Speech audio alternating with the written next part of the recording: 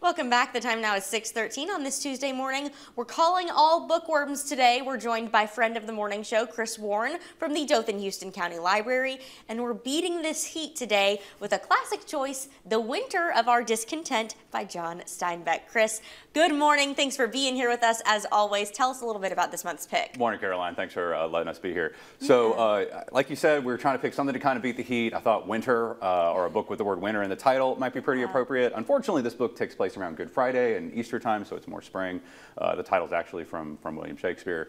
Uh, but it is a book that stayed with me, as we were talking before we came on the air. It is a book that I read when I was in high school in my 12th grade lit class, and it's stuck with me forever. So our pick for this month is The Winter of Our Discontent by John Steinbeck. Yeah, we were talking about how sometimes those books just really stick with you Mm-hmm. that you had to read in high school. And Steinbeck, as we were talking about, is one that ends up on a lot of reading lists, Mm-hmm. but he can be a little bit intimidating. Why do you think this is a good one to kind of get people into his work? This is one that it's, you know, I think a lot of us have read Of Mice and Men. I think a lot of us have heard of books like The Grapes of Wrath or East of Eden. This is one that I think is pretty accessible as far as Steinbeck's works go. It was published in 1961. It was one of the last books, or was the last book published during his lifetime.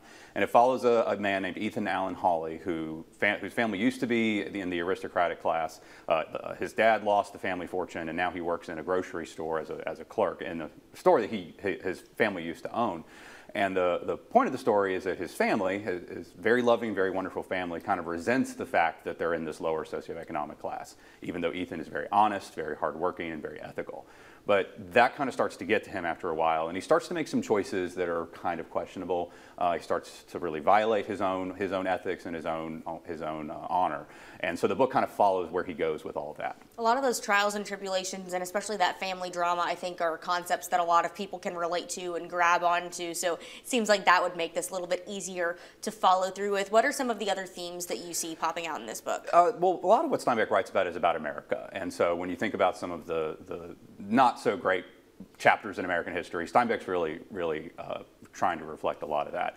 On top of that, I mean, like you were just saying, a lot of those themes about honor and ethics and trying to be true to those around you and trying to be true to yourself, those are things that I think a lot of us can really relate to.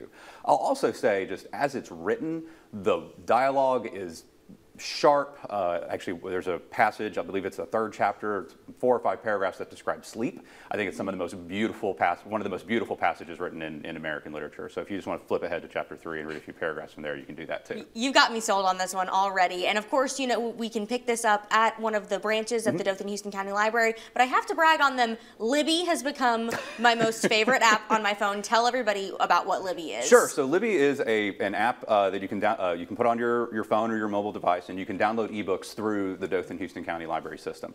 Uh, you, all you need is a library card, and you'll be able to search our catalog. We're actually part of a consortium with three other libraries, so we share our resources, uh, and you can borrow from from their collections, and they can borrow from ours. Uh, but it, and we will have digital copies of this available in Libby as well as physical copies at all of our locations. So no excuses. It's so easy to get your hands on. Libby has changed my life. I love it. Great. Chris, thanks so much for being here. We appreciate it. Absolutely. Thank you, Caroline.